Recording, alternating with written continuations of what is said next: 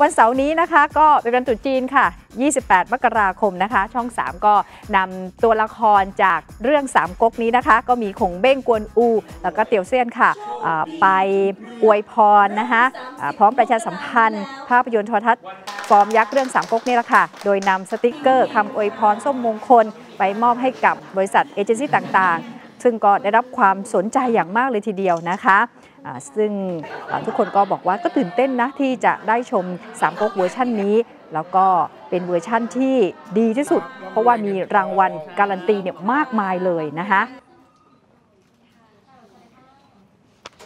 ส่วนทางด้านของ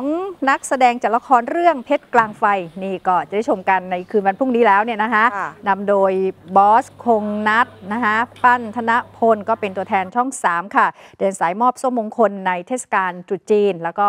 อ่ามีสื่อต่างๆนะคะ ทั้งแนวหน้า Daily News สวพ 91 บริษัท Independent นะคะสนุก .com News Plus นาย Entertain ซึ่งก็ได้รับ การตอบรับจากพี่ๆสื่อเช่นเคยนะคะ พร้อมสัมภาษณ์ในเรื่องของเพชรกลางไฟที่ทั้งคู่แสดงในละครเรื่องนี้ด้วยนะคะ ก็ลงจอทุกวันพุธแล้วก็วันพฤหัสบดี วันพรุ่งนี้เป็นตอนแรก เดี๋ยวพระนางจากละครเรื่องนี้นะคะฝนค่ะ ก็คือมิวนิษฐาค่ะค่ะแล้วก็ไม้วริศพรุ่งนี้ค่ะ จะมาพูดคุยกับเรานะคะค่ะเป็นแฟนของสองคนนี้แฟนละครก็ห้ามพลาดตัวข่าวบันเทิงในวันพรุ่งนี้ค่ะ